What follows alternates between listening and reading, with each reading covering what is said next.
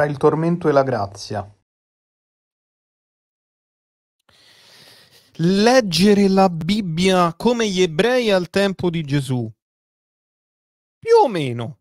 Questo è il Targum, una splendida esperienza di ermeneutica. L'erme- l'ermeneutica è una parolaccia? Assolutamente no.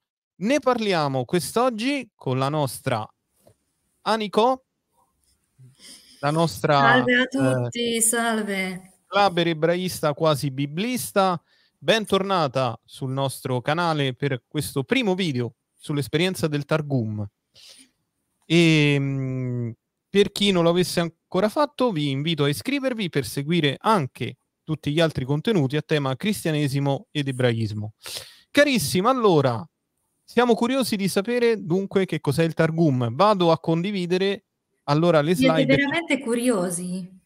Sì, assolutamente. Assolutamente. Perché Fra Intanto, Gabriel intanto buon Natale a tutti. Cioè, siamo ancora nel tempo natalizio, no? Fino il 2 febbraio. Eh sì, eh, questo video viene registrato come potete vedere dall'albero nel Eh tempo sì, di, sì. Di- di Natale. Ecco, insomma, auguri Ma a voi tutti. quando buttate fuori la- il- l'albero di Natale? Il 2 Ordinariamente, febbraio. allora, i religiosi il 2 febbraio, mh, alcuni per il battesimo del Signore, fino al Ah. 15 gennaio. Comunque abbiamo una marca cronologica, quindi possiamo ricostruire quando è stato girato questo video, quindi saluti a tutti quelli che lo vedranno anche in differita. Bene, allora possiamo condividere le slide che ha preparato la nostra Anico e che, eccola qua, leggere la Bibbia, una traduzione aramaica. No, sarebbe una traduzione poi tradizione Ah, aramaica, bellissimo, veramente. capisci? Cioè che, come vedremo, i Targumim fanno una traduzione aramaica del testo biblico in un modo creativissimo, cioè a volte quelli che fanno il traduttore o traduttrice potrebbero anche dire che questa è una tradizione del testo, ma alla fine no, vediamo poi. Bellissimo questo, una traduzione. Ecco, allora, come ogni tomista che sono, ti domando, e lo vedo già scritto nelle slide, che cos'è un Targum? Allora, il Targum, cioè la radice, cioè il Targum significa traduzione, semplicemente, ma si usa come terminus technicus per la traduzione aramaica eh, del testo ebraico della Bibbia. Poi qui c'è uno sbaglio, poi ti spi- eh, vi spiego. Cioè la radice è Tav Resh Gimel, Mhm. poi viene um, quindi questo, questa radice significherebbe tradurre semplicemente. Da questo viene la parola Targum come traduzione. Anche, cioè, esiste questo, questa espressione di Meturgeman e qui mi devo correggere. Non so, tu puoi mettere il tuo cursore oppure si vede il mio? E no, pur- purtroppo non... Vabbè, comunque lì sotto Targum c'è scritto Meturgeman. Sì, ci che- sono due Gimel che è una, cioè, misspelling. Ok, va bene. Scusatemi, scusatemi, quindi quello non Cartellino l'ho giallo. notato. Sì, grazie anche rosso, quindi da un... Ma guarda, per, per incoraggiarti ti arriva comunque un applauso. Di grazie. Ok, allora Meturgeman, ci siamo, ottimo. Sì, E- Meturgaman sarebbe quello che traduce il testo e questo possiamo incontrare eh, nella letteratura ebraica, aramaica. Poi il contesto dei Targumim sarebbero le scuole, tra parentesi, dove hanno, hanno studiato più profondamente il testo della Bibbia, no? Praticamente la Torah era una cosa che eh, spesso hanno studiato, Eh, cioè si dice così che nel Beit Hamidrash, cioè in queste scuole per eh, studiare questi testi biblici, è nato questo modo di tradurre il testo ebraico in aramaico per far capire meglio il senso del, del testo ebraico, cioè la Torah e anche per, per i, i, profeti, eccetera. Poi da questo contesto eh, cioè, hanno spostato queste traduzioni aramaici nella sinagoga e nella liturgia. Ma quindi quello che è veramente importante è che questi testi aramaici suppongono che anche il testo aramaico viene letto. Quindi uh... della traduzione. Quindi, per esempio, quelle, cioè, la 70 non lo suppone. La Peshitta, che sarebbe la versione siriaca, non lo suppone, ma questa versione aramaica ancora sì. Ok, quindi chi leggeva questi testi conosceva... Allora, chi... Eh, tra... allora, chi... Vediamo se ho capito bene. Chi leggeva anche la traduzione aramaica ehm, sapeva bene l'aramaico fondamentalmente. L'aramaico sapeva bene, ma già ebraico non è detto che lo capiva. Ah, Interessante. non capiva perché cioè, il testo della Bibbia è un, ara- è un, ebraico stranissimo, cioè ci sono diversi livelli della lingua, cioè c'è antico, antico, antico, ebraico, c'è quello dell'esilio, eccetera. Quindi così.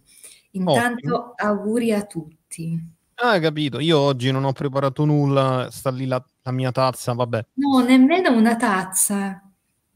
Che vergogna, Gabrio. Eh sì, sì, Gabrio. No, devi preparare un calice di vino. Eh, eh, ce l'ho giù in cucina, non faccio in tempo. non adesso, per la prossima volta. Per la prossima, è vero, la prossima volta. Ok, quindi traduzioni ehm, aramaica della Bibbia. Benissimo. Vediamo adesso il quando. Sì, allora io quando qui c'è un no, adesso, cioè noi abbiamo avuto tanti problemi con i PPT, adesso ha fatto un po' un pasticcio, si dice così? Sì, si dice così, fare un, pasticcio o in romanesco un casotto. Un casotto, esatto. Quindi adesso non vedete quello che io ho preparato, scusatemi, sul livello estetico lo farò correggere, ma comunque il quando sarebbe tra il 3 e XII secolo dopo Cristo, quindi tutte queste traduzioni nascono dopo Cristo. Dal terzo secolo fino al dodicesimo, ma non è detto che al dodicesimo secolo, cioè intendo che c'è un Targum samaritano che hanno tradotto no, hanno copiato, scusatemi, questa è la parola giusta, hanno copiato nel XII secolo, ma non è detto che la traduzione avvenne eh, nel XII secolo. Quindi qui vedete che qui io ho segnalato che adesso non si vede, non so perché bene, che ci sono diversi periodi rabbinici. Mm-hmm.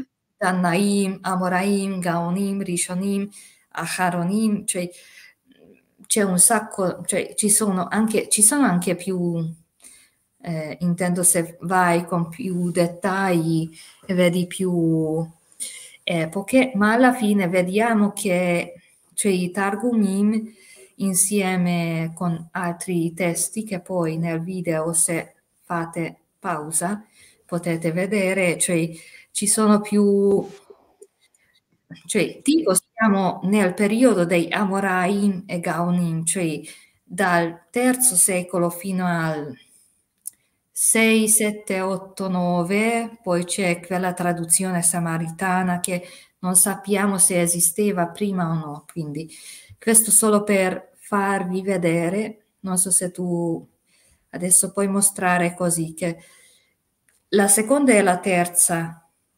epoca e l'epoca dei Targumim. Si vede? E... Mm, no, eh no, il mio cursore non compare. Comunque... Va bene, eh... ma comunque si vede che il secondo e il terzo. E poi quello che qui è importante che, cioè, Il problema è che i Targumim spesso sono considerati cioè, un po' separati dalla letteratura mm, rabbinica, diciamo così, antica, ma alla fine qui vediamo che tutto si inserisce in questo milieu mm, mentale, spirituale e di pensiero. Cioè siamo in questo flow della letteratura rabbinica. Sì, sì, sì, sì, molto interessante. C'è, c'è un passaggio praticamente dall'inizio che cioè, mh, si inserisce praticamente subito dopo, se vogliamo, eh, la prima ondata, chiamiamola così, della Laka, la, la Morraim, e è quasi, non dico immediato, ma insomma, nelle prime fasi di questo sviluppo della letteratura ebraica, pa- passatemi il termine, insomma. E va bene. Sì, cioè ci sono dei studiosi, dei studiosi che dicono che cioè, la traduzione di certi targumim risalgono all'epoca prima ai, al Tannaim, cioè che già nel primo secolo, per cui che dicono che forse magari anche Gesù conosceva alcuni di questi testi. Non dico che tutti, ma alcuni forse, ma, oppure alcune tradizioni, cioè così. Perché sempre c'è una tradizione orale e poi viene una tradizione scritta. Sì, Cos- sì. Sì, quindi scusatemi, qui non lo so, StreamYard ha fatto i miei slides un po', un po' brutti, ma poi vedrete. Come allegato, magari puoi fare una link per il PPT giusto. Sì, sì, sì, farò così. Quindi da quando al quanti e qua stiamo facendo tutte le categorie proprio tomiste classiche, no? Che cos'è? Non, non, ricorda, n- non scordare che io ho un cuore domenicano, quindi Oh, meno male. Eh, oggi, sono no... stata, oggi sono stata in un cioè ho incontrato un rabbino, abbiamo fatto una lezione insieme con un altro rabbino da Gerusalemme. E ehm, anche in quel caso San Tommaso d'Aquino è stato citato almeno cinque volte. Oh, ecco, ti becchi sicuramente un altro applauso. Grazie. Poi, per, se vuoi mettere anche il link di quest'altra, ehm, di quest'altra, di quest'altra live che hai fatto, magari nei sottotitoli, magari con Facebook nei sottotitoli si può seguire. Sì, con sottotitoli sì, perché era in Maggiaro, quindi...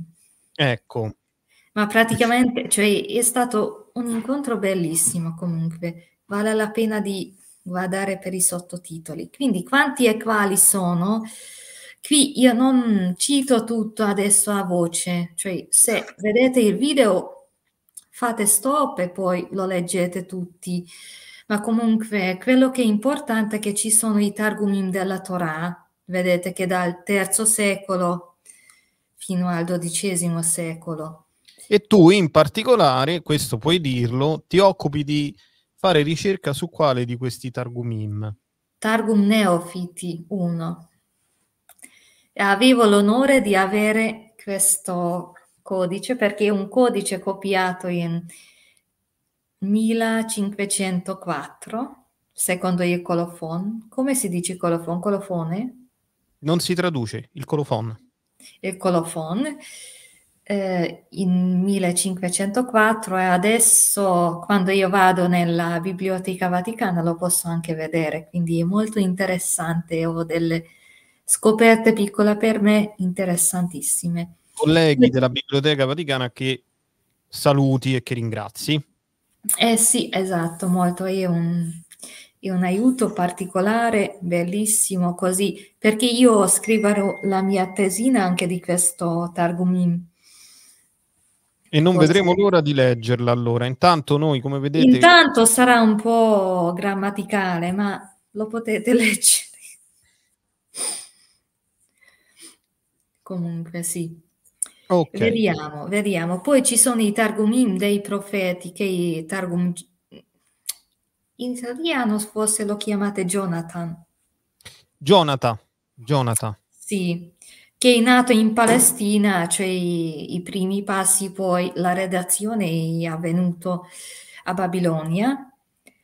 Poi ci sono i Targumim dei rotoli, che sarebbero, sarebbero i Ketuvim, che sono collane miste con tante aggiunte, attualizzazioni. Cioè, per esempio, quando leggiamo il Shir Hashirim, cioè il Songs, Song of Songs sarebbe Cantico cantici dei cantici, sì.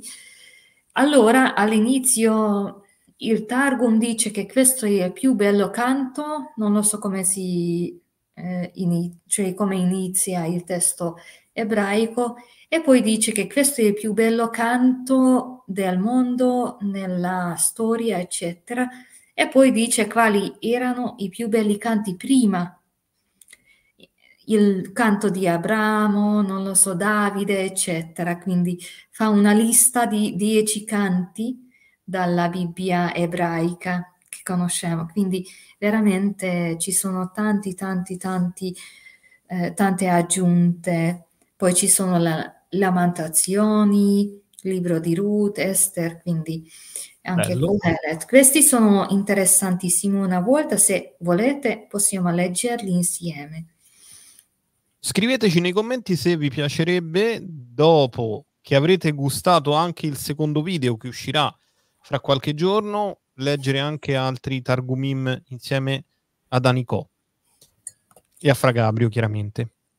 Sì, senza Fra Gabrio il club non funziona, quindi. No, se volete io esco, guardate, io esco e rimane solo le... No, Va bene, no, allora, no. qua leggiamo nella slide attuale ehm, una traduzione interpretativa, il cui scopo è quindi la finalità, un'altra delle categorie tomiste, che poi di fondo sarebbe la, eh, la finalità è sempre una delle prime cose che il fine è quello che si va a dire.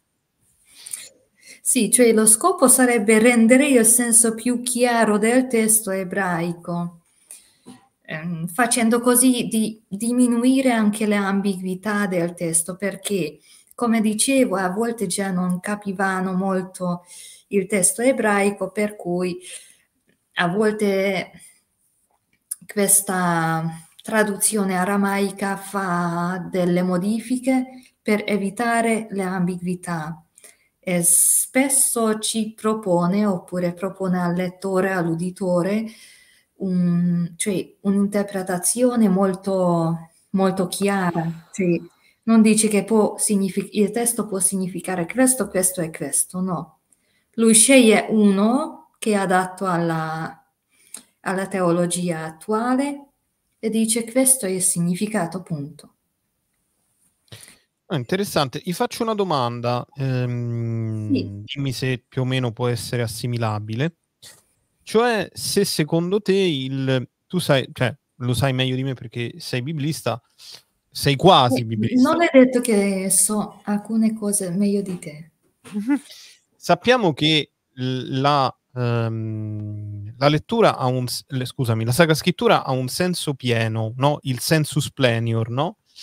Che ogni esegeta, ma ogni studioso, ogni credente cerca di cogliere, no? A partire dal senso letterale. Potremmo dire così, facendo mutatis mutandis, cioè facendo le dovute considerazioni e differenziazioni, che comunque il- il- i Targumim cercano di far trovare il sensus plenior di quel passo, seppure fra di loro hanno interpretazioni diverse. Difficile da dire così. Intendo che adesso queste categorie sono categorie medievali, no? Mhm. Cioè, quello è molto difficile a mm, proiettare, progettare? Proiettare, sì, sì, proiettare. proiettare in questi testi, perché alla fine loro hanno avuto questo scopo di dare un- un'interpretazione eh, kosher del testo, cioè un'interpretazione adatta alla fede giudaica, punto. Non è che sensus plenior no, perché anche tra gli ebrei esisteva, esistevano quattro livelli dell'interpretazione della Bibbia, ma qui in questo caso non parliamo di questo. Ok, Cioè, nei Midrashim, se volete, faccio anche un, un video dei Midrashim, cioè quelli che spiegano la Bibbia, cioè hanno questo scopo di dare dei commenti. In, in quei casi si vedono i diversi livelli, per cui possiamo parlare anche di sensus plenio, non lo so, eccetera. Eh, ma comunque... Va bene. Questa, questa cosa che anche noi, no, nella Chiesa Cattolica abbiamo quattro livelli. Secondo il, il, il distico medievale, che la lit- littera gesta docet e analogia eh, quod credas, moralis eh, cosagat, e insomma i quattro sensi, e l'ultimo è ciò a cui tendo, no? quindi il senso letterale, il senso quello che noi diremo dogmatico, quello morale e infine quello escatologico. Se vi Esatto. piacerebbe, se vi piacerebbe, escatologico anagogico, se vi piacerebbe eh, avere anche un video sul Midrash, ce lo scrivete nei commenti e comunque lo domanderò anche nel nostro, nella nostra chat. Allora, E se volete avere anche un video della, cioè della tradizione interpretativa cattolica, dei padri, per esempio, no? Padri della Chiesa, anche quello scrivetelo nello chat. Non è perché io sono esperta, ma perché io conosco delle persone con cui si potrebbe fare. bellissimo, grazie. Modo di parlare di Dio. Oh, parli con più, parli con più riv- riverenza, riverenza, vai. E scusami, sì, sapete che io non parlo bene l'italiano, quindi Ma diciamolo, questo video è stato combattutissimo, abbiamo fino... no, siamo con questo PPT abbiamo combattuto, siamo arrivati a combattuto tarda notte per- per registrare sì, questo sì, video, sì, quindi an- arriveremo alla fine, forza. Allora, Sì, cioè io quando ho analizzato un po' uno dei, di questi Targumim di cui parliamo, allora io ho fatto diverse categorie, cioè queste categorie sono un po' mie, un po' di diversi studiosi e specialmente io adesso studio tanto da Craig Morrison, per cui veramente cioè, Craig Morrison che salutiamo, che Sì, salutiamo. sì, sono molto grata per le sue osservazioni. Quindi ci sono due grandi temi che, cioè i Targumim, mentre fanno questa traduzione interpretativa e anche didattica, no? Perché vogliono un po', un po' guidare il lettore, l'uditore, per un senso più corretto, che non, non è in opposizione della fede ebraica, cioè ci sono due grandi temi, uno è il modo di parlare di Dio e l'altro è il modo di parlare di Israele e della tradizione ebraica, eccetera. Perché cioè, poi nella letteratura rabbinica sapete che eh, c'è il discorso delle mitzvah, cioè come si fanno le cose, che regole dobbiamo mantenere, eccetera. Quindi tutto è armonizzato con queste, questi temi, cioè il modo di parlare di Dio praticamente dà un imperativo per il lettore e l'uditore di parlare con più re- riveren- riverenza Riverenza. di Dio. Cioè che perché nella, nella Bibbia ebraica a volte no, vediamo Dio come se fosse un uomo che entra nel mondo umano. E così, cioè, ci potrebbe essere un malinteso che allora Dio è come un uomo, che non è vero, è solo un modo di parlare di quell'epoca antica antica. Per cui il Targum che vede questi testi da una certa distanza di tempo dice che va bene, anche se ci sono questi, cioè, queste menzioni di Dio dove Dio ha le mani, ha l'occhio, sembra come un uomo, noi descriviamo lui come, come un, un ente totalmente trascendente, per cui evitano eh, di rappresentare Dio come cioè, contratti umani. E poi, per esempio, il, la mano di Dio diventa il potere di Dio. Cioè più astratto, tutto più astratto. La bocca di Dio diventa la membra di Dio che sarebbe il parlare di Dio. Mm-hmm. E poi anche per, cioè, nella stessa linea, per evitare la rappresentazione così più umano di Dio, non sempre però, cioè questo è un grande punto esclamativo, cioè non sempre, solo quando è ambiguo. Eh, a volte cioè, dicono che va bene, qui nel testo ebraico è scritto, è des- cioè Dio è descritto come una persona che vede, che vede, udi- udisce, ascolta, ascolta, eh, ha, un, ha, una cognizione. Eh, per cui, allora, cioè, anche se è descritto lui così, noi facciamo una piccola modifica. Usiamo un verbo che sarebbe rivelarsi, gali, e facciamo una costruzione passiva e diciamo al posto di Dio ha udito la sofferenza di scusatemi, qui c'è uno sbaglio, scusatemi, la sofferenza del popolo, uh-huh. al posto di questo facciamo davanti a Dio si è rivelata la sofferenza del popolo. Cioè capisci la differenza? Sì, sì, sì. Che diventa più, più immediato. Qui, quindi qui che io ho evidenziato con grossetto, si dovrebbe essere davanti a Dio, si è rivelato la sofferenza del popolo, cioè non di Dio, quindi scusatemi. E poi il Targum inserisce anche diversi mediatori divini, cioè evita di descrivere il contatto tra divino e umano in modo diretto, per cui si inserisce dei mediatori, diversi mediatori che hanno diverse funzioni. Eh, e questo non è, cioè, come dire, in tutti i targumi è un po' differente, cioè si deve studiare caso a caso.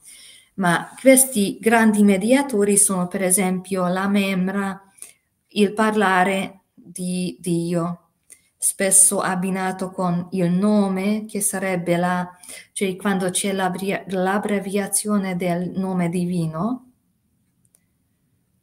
Come si sì. dice in italiano? Mm. Il tetragrammaton. Il tetragramma, sì. Sì, cioè a quel posto a volte scrivono anche il nome Hashem. Adonai sì. E poi c'è il mediatore, cioè ovviamente il parlare di Dio spesso si presenta come un mediatore che, che sostituisce la bocca del, di Dio, no? Oppure uh-huh. sostituisce l'attività di parlare di Dio. Poi c'è anche la Shekinah, la presenza di Dio, spesso abbinato con la gloria, questo non è è sempre, cioè non succede sempre. Poi c'è anche la misericordia di Dio che diventa una mediatore o mediatrice tra divino e umano nei casi quando umano vorrebbe, cioè l'essere umano vorrebbe chiedere qualcosa dal divino. Cioè dice per esempio Mosè, io ti chiedo per mezzo della misericordia di te oppure di Dio, cioè non dice che io ti, io ti chiedo qualcosa direttamente, ma c'è una mediatrice.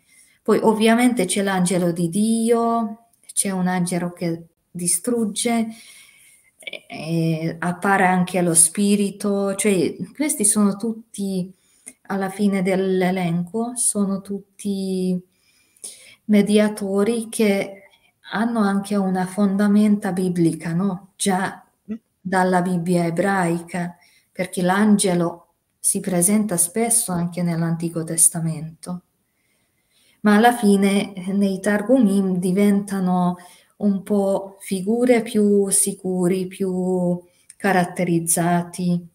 Ah, bello Mm. questo. Sì, Sarebbe sì, come- interessante secondo te, io parlo un po' chiaramente da dogmatico, no? Ah, Fare una sì? ricerca per vedere eh, la figura degli angeli, per esempio, in un Targum specifico, ad esempio. La? La figura dell'angelo in un Targum specifico. Ovviamente sarebbe interessante. Poi ci pensiamo, dai. Ci inventiamo Sì, si potrebbe scrivere una tesi di questo, quindi. Quindi la cosa importante è che in questo modo di parlare, cioè i Targumim vogliono sottolineare che Dio è soprannaturale, trascendente ed hanno questi elementi così didattici per essere guidati nel, cioè nello flow, nello flow del- della fede ebraica. Nello scorrere, nel darsi della, della Sì. Poi si vede la stessa identica cosa, per esempio, come parlano di Israele, cioè nei Targumim. Per esempio, enfatizzano l'autorità dello studio della Torah. Poi mettono in, in centro eh, questo ambiente liturgico, anche se già non esiste il Tempio, non ci sono sacrifici concreti, ma come memoria per custodire nel cuore questa memoria dei sacrifici, anche se c'è soltanto la liturgia sinagogale, cioè loro accentuano questo soprattutto nei Targumim dei Salmi, importantissimo, cioè là ci sono anche i Kohanim, i preti, i sacerdoti ebraici, eccetera, che fanno delle cose, quindi è bellissimo, bellissimo da leggere.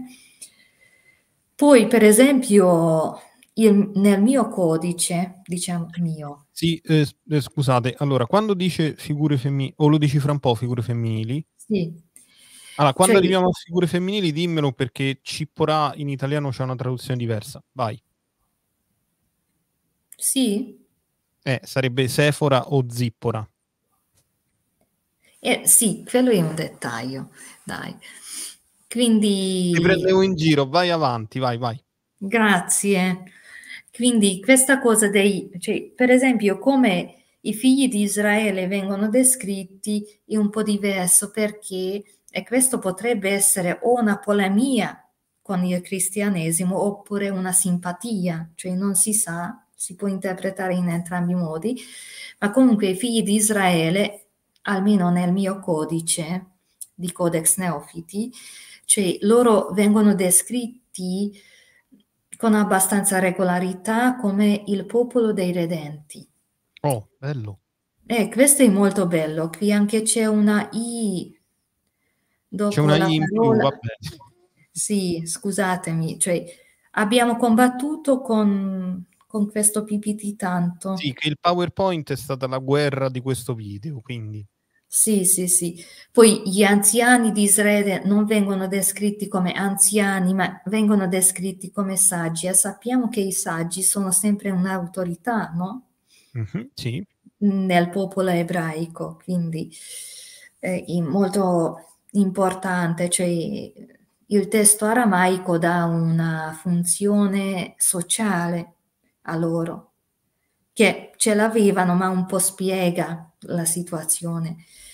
Poi, per esempio, la figura di Mosè Aronne, anche questo nel mio codice, viene descritto in una maniera un po' diversa, cioè loro vengono descritti come maestro e insegnante, poi traduttore, cioè Aronne diviene traduttore di Mosè che insegnante, mentre nel testo ebraico vengono descritti no, che tu sarai come, cioè Aronne sarà come la tua bocca e tu sarai come io, Sì. qualcosa del genere.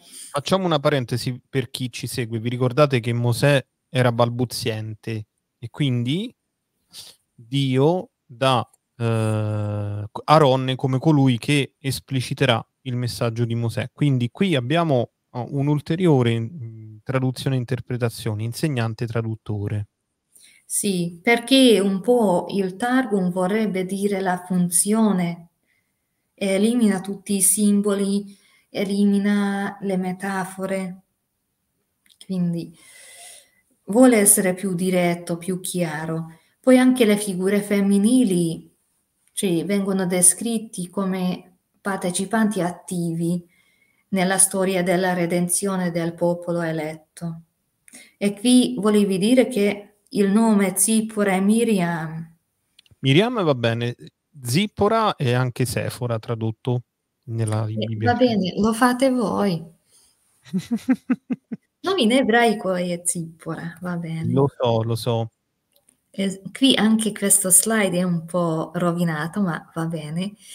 Cioè, ho portato un esempio solo per farvi capire che il Targum a volte evita lo scandalo, cioè quei, quelle situazioni eh, narrative dove, per esempio, i, i guidi, i leaders del popolo eletto fanno qualcosa che contro la legge o fanno una cosa non, non totalmente kosher, a volte vengono salvati con una spiegazione. E quindi qui c'è nell'Esodo 4 la scena, tu lo sai Gabriel, la scena di... La scena del quello che leggiamo qui davanti a noi. Leggilo per favore. Leggo il, il Targum o, o il testo? Il testo prima. Mentre si trovava in viaggio nel luogo dove pernottava, il Signore gli venne contro e cercò di farlo morire. Tra Allora, parentesi Mosè. Mosè, allora Zippora o Sefora o Cippora prese una selce tagliente, precise il prepuzio del figlio e con quello gli toccò i piedi e disse: Tu sei per me uno sposo di sangue. Allora si ritirò da lui. Essa aveva detto sposo di sangue a causa della circoncisione. Allora, eh, ditemi chi capisce questo, cioè questi versetti? Lo Fa un capisci? po' splatter, cioè è un- sembra un po' un film thriller così lasciato un po' con tutto rispetto del testo sacro, Signore mio, tu lo sai. Però sì, effettivamente non è che sia molto chiaro. Sì, ma alla fine qual è il problema? Che Mosè si scorda di fare la circoncisione per il figlio, no? Che è una cosa contro la, la legge.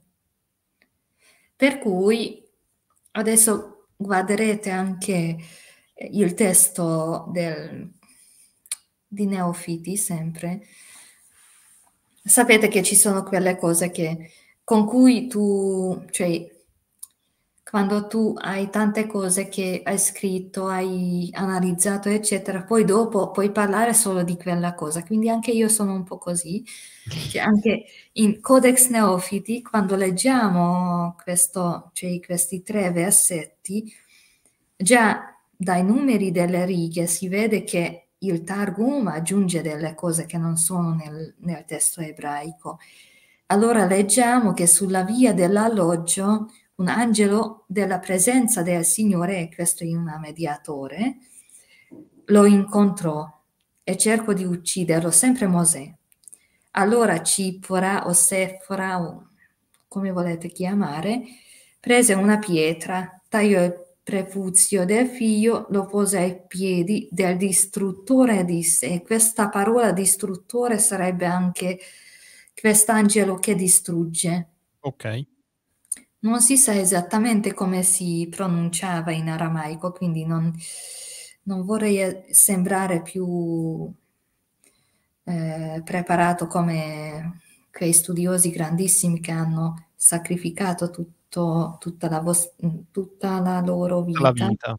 Sì, quindi c'è questa figura del distruttore che è molto interessante che evita, cioè se mettono il distruttore, l'angelo distruttore qui in questo brano, significa che non Dio voleva uccidere Mosè, perché Dio non vuole e non può uccidere nessuno, capisci? Sì. E allora vediamo cosa dice Zippora. poiché il mio sposo voleva conci- co- circonc- Circonciderlo. Grazie, ma suo suocero non glielo permise, il sangue di questa circoncisione possa ora espiare i peccati di questo sposo. Quindi qui Zippora dice che no, Mosè voleva circoncidere il figlio, solo che il suocero non, non lo voleva. Per cui cioè, la responsabilità va al suocero. Quindi abbiamo evitato lo scandalo che Mosè fosse un uomo che ha dei sbagli. Punto. Punto, è sempre colpa del suocero, insomma. Sempre, sempre. E qui ho messo questo. Bellissimo. Akedah. Sai cos'è Akedah? No. La, quando leggono Isacco. Ah. Mhm. Quindi questo ho messo qui perché magari in una seconda puntata leggeremo questo testo. Chissà. chissà, Chissà. Chissà. con questa miniatura bellissima. Molto bella, sì, sì.